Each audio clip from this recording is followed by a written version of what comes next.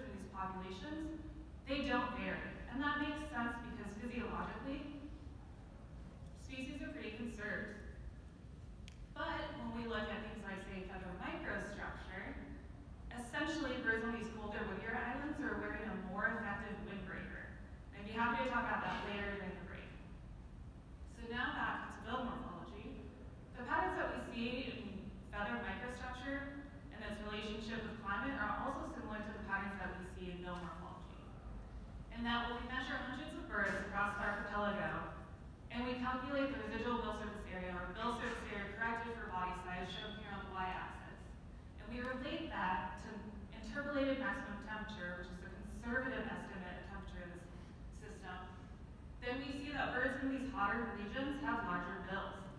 And that makes sense, because the bill can be used as a thermoregulatory tool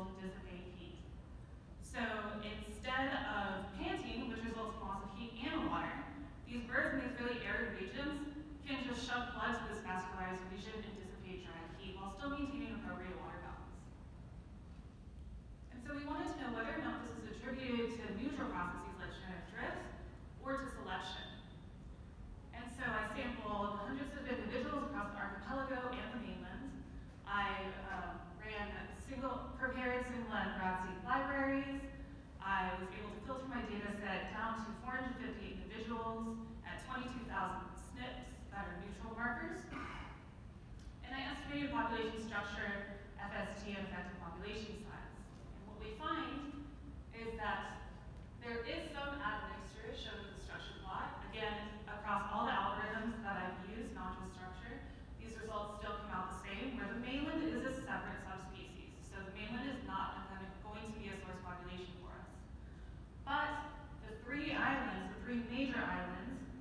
each have their own distinct genetic cluster. There is some movement, some admixture there, so there's evidence of gene flow. And then we know that Anacapa, which was recently colonized, is in fact colonized by birds from the islands. And so we'll focus then only on the three main islands, Miguel, Rosa, and Cruz. And when you look at that, you see that the pairwise FST values are really low. So this is typical for birds. You know, birds can fly across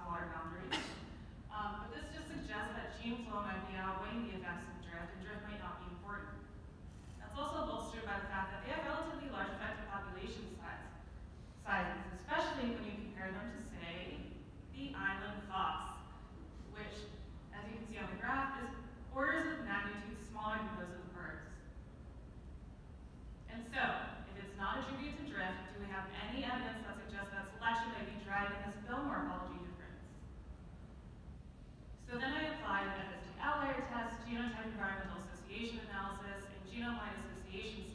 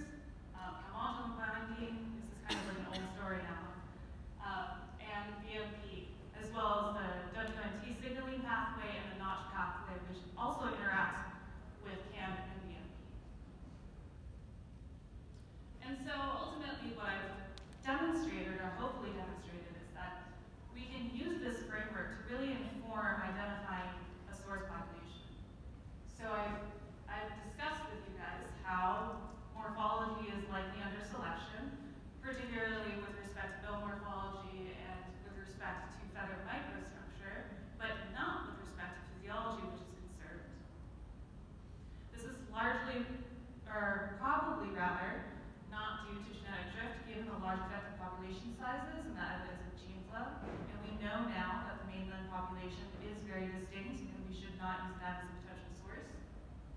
And there is some genetic basis to the adaptive variation we see in the bills.